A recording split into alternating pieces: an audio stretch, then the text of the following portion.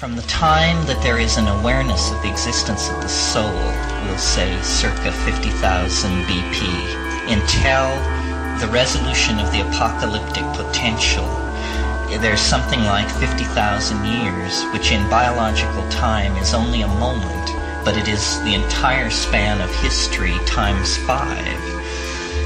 In that period, everything hangs in the balance because it is a mad rush from monkeydom to starshiphood. And in the leap across those 25,000 years, energies are released, religions are shot off like sparks, philosophies evolve and die, science arises, magic arises, all of these things which control power with greater and lesser degrees of ethical constancy appear.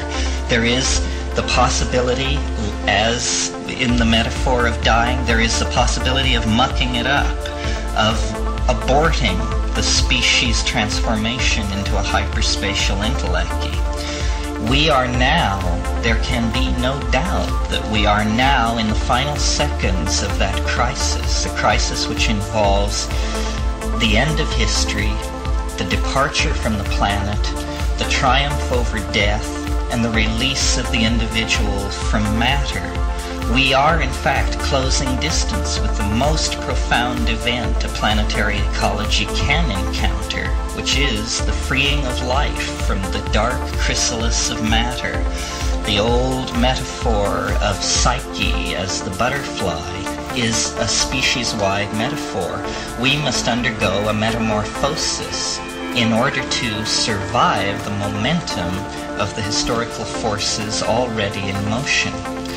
Well, if you know anything about evolutionary biology, you know that man is considered to be an, an unevolving species. In other words, sometime in the last hundred thousand years, with the invention of culture, the uh, the biological evolution of man ceased, and evolution became a cultural phenomenon. Tools, languages, and philosophies began to evolve, but the human somatype began to remain the same and so we are very much like people a long time ago. But technology is the real skin of our species. Man, correctly seen in the context of the last 500 years, is an extruder of a technological shell. We take in matter that has a low degree of organization we put it through mental filters and we extrude Lindisfarne Gospels, space shuttles, all of these things. This is what we do.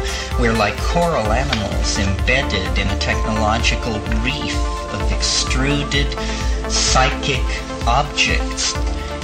In other words, the body must become an interiorized hologrammatic object embedded in a solid state hyperdimensional matrix which is eternal so that man wanders through Elysium in his body, experiencing all the pleasures of the flesh, but not realizing that he is a holographic projection of a solid state matrix that is micro-miniaturized, superconducting, and nowhere to be found.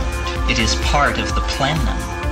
And uh, we, all history is about producing prototypes of this situation with greater and greater closure toward the ideal so that airplanes, automobiles, condominiums, space shuttles, space colonies, uh, starships of the hardware, speed of light, spindizzy drive type, all of these are, as Eliade says, self transforming images of flight that speak volumes about man's aspiration to self-transcendence so that we are our wish, our salvation, and our only hope, basically, is to end the historical crisis by becoming uh, the alien, by ending alienation, by recognizing the alien as the self, in fact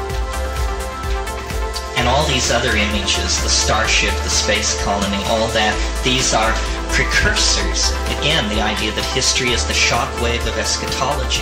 As you close distance with the eschatological object, the reflections it is throwing off become more and more true to the thing itself. And in the final moment, God stands revealed. There are no more reflections of, uh, of the mystery. The mystery in all its nakedness then is seen, and nothing else exists.